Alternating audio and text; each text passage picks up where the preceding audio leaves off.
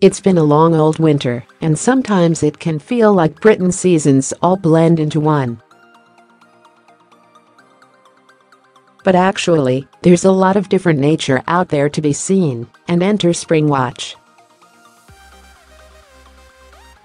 The BBC's flagship wildlife show has been running since 2005 and returns for a brand new series on 28 May.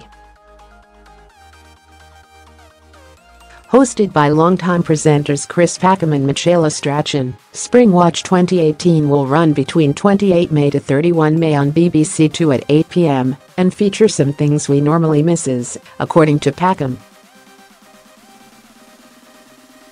In an interview with Radio Times, the 57-year-old nature lover said, It's not prescriptive, it's always reactive. The opportunity to see stuff you'd never imagined to see in a lifetime of watching by yourself because you couldn't physically be there or be awake for all those hours.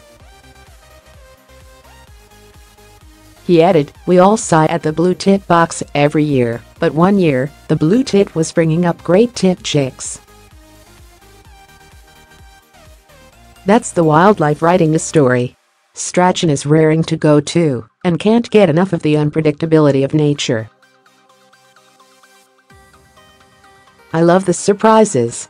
We usually go with a plan, and it completely changes, you get such interesting stories out of the most standard stuff, she said. However, alongside the announcement of a new raft of episodes comes some disappointment for Springwatch fans. Earlier in 2018 it was announced that, after 12 years on the production team, co-presenter Martin Hughes-Games will not be returning for the new series. Over the past few years, Hughes-Games has had a rocky relationship with the show.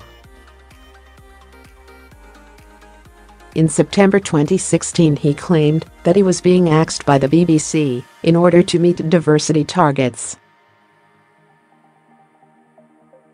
The corporation flatly denied the allegations. It was later revealed that his role had been changed rather than made redundant and he would be spending more time in the field and less on camera. Whatever I may think it's crucially important that high-profile shows like The Watches reflect diversity.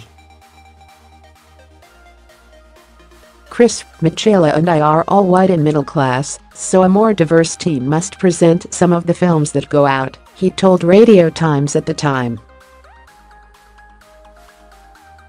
It's hard for me, because it's my living, but the more I thought about it the more I thought no that's the right decision.